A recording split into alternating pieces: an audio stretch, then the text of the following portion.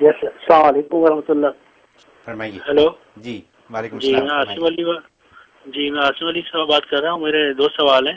سر صاحب خیریت سے ہیں؟ الحمدللہ بالکل ٹھیک ہے ماشاءاللہ۔ سر صاحب ایک سوال تو یہ تھا کہ میں نے سنا تھا کہ علماء کرام فرماتے ہیں کہ جو ہے نا عبادات کے اندر جو ہے کیفیت مطلوب نہیں ہے۔ لیکن میرے ذہن میں اشکال آ رہی تھی کہ جو ہے ہم کہتے ہیں کہ نماز ایسے پڑھو کہ جیسے اللہ کو دیکھ رہے ہو تو یہ کیفیت ہی تو ہے۔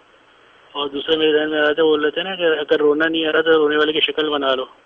تو یہ میرے ذہن میں آ رہا تھا کہ یہ تو کیفیت جو ہے، وہی ہم تلاش کر رہے ہیں۔ لیکن کیفیت مطلوب نہیں ہے، تو ایک تو ذہن میں تھا۔ دوسرا تھا کہ اگر والدہ جو ہے، وہ بھی اپنے بچوں کو جھوٹے منہ معاف کر دیتی ہے۔ اگر یعنی ہم جھوٹی توبہ کریں، والدہ سے معافی مانگیں گے تو معاف کر دیتی تو کیا اللہ تعالیٰ بھی ہم کو معاف کر دیں گے؟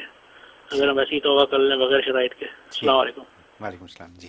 بقیہ ویڈیو دیکھنے سے پہلے ویڈیو کو لائک کریں رحم ٹی وی چینل کو سبسکرائب کریں اور بیل آئیکن پر کلک کریں۔ شکریہ۔ ماشاءاللہ اچھا سوال کیا آپ نے۔ جہاں تو پہلی سوال کا تعلق ہے تو بالکل جو ہے عبادات میں کیفیات مقصود نہیں ہیں محمود ہوتی ہیں۔ مقصود نہیں ہوتی، مطلوب نہیں ہوتی۔ محمود، اگر کسی کو کیفیت حاصل ہو جائے تو بڑی اچھی بات ہے، لیکن کسی کو اگر وہ کیفیت حاصل نہ ہو تو پریشان نہیں ہونا چاہیے۔ اصل مقصد جو ہے حاصل ہو گیا ہے اور اس مقصد پہ اجر ملنا ہے۔ ٹھیک ہے نا؟ بالکل اسی طریقے سے نماز وغیرہ کے اندر آپ جیسے کہہ رہے ہیں کہ آدمی یہ چاہتا ہے کہ ایسی عبادت کرے جیسے اللہ کو دیکھ رہا ہے، تو یہ تو کیفیت ہی تو ہے۔ ہاں بالکل، لیکن اس کیفیت کا حکم ہے، لیکن اس کا حصول منظور مقصود نہیں ہے۔ دیکھو، قرآن کریم میں اللہ تبارک و تعالیٰ فرمائے اہ دن اسرات المستقیم۔ تو بندہ اللہ سے سرات مستقیم مانگتا ہے راستہ مانگتا ہے، منزل کیوں نہیں مانگتا؟ تو معلوم ہے کہ بندے کا کام بس راستہ سیدھا اختیار کرنا ہے، منزل کی کی ذمہ داری اللہ کی ہے۔ بس آپ کا کام راستہ صحیح تلاش کر لیں، بس اس راستے پہ پڑ جائیں۔ اب منزل، تو منزل کی آپ نے دعا بھی نہیں کی ہے اور منزل اللہ کی ذمہ داری ہے۔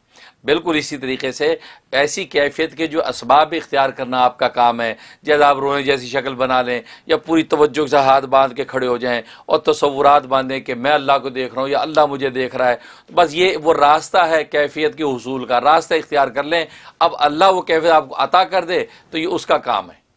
نہ عطا کرے، اس کی مرضی ہے۔ لیکن آپ کا یہ کوشش جو ہے نا اس صحیح اور کوشش پر اللہ تبارک و تعالیٰ آپ کو پورا پورا اجر عطا کر دیں گے کہ یار یہ کوشش تو کر رہا ہے نا، منہ تو شک، شکل تو بنائی رونے جیسی، لہٰذا رونے والی جو ہے دعا کے حق میں اس کو قبول کر لیا جائے۔ کہ یہ مطلب ہے کہ اس طرح کی کیفیات کی کوشش۔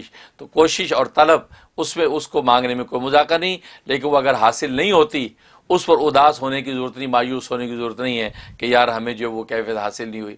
اس لیے جو ہے نا وہ کہا جاتا ہے کہ کیفیت مقصود نہیں ہے، جو وہ محمود ہیں۔ اگر مل گئیں تو بہت اچھی بات ہے، نہیں ملی تو اس پہ آپ کو جو ہے پریشان ہونے کی ضرورت نہیں ہوتی۔ بہت خوب، بہت شکریہ۔